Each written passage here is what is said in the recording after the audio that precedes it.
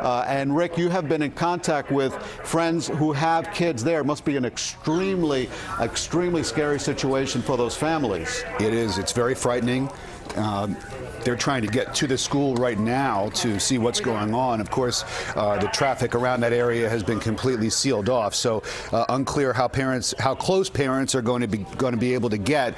But uh, no doubt, many parents are right now heading to the school. As the, the picture of that campus now begins to come into into view here uh, from Chopper 4, and we can see there where the ambulances are on the scene, and, and in that spot right there, that little grassy corner area, uh, we did see a little triage uh, unit where uh, some of the paramedics and first responders were tending to some people uh, who may have been wounded in some way. Uh, we also got a shot of some people being loaded into an ambulance, put put on a gurney and being taken taken away. Uh, very hard to determine exactly how you know the extent of the injuries that those people suffered. But you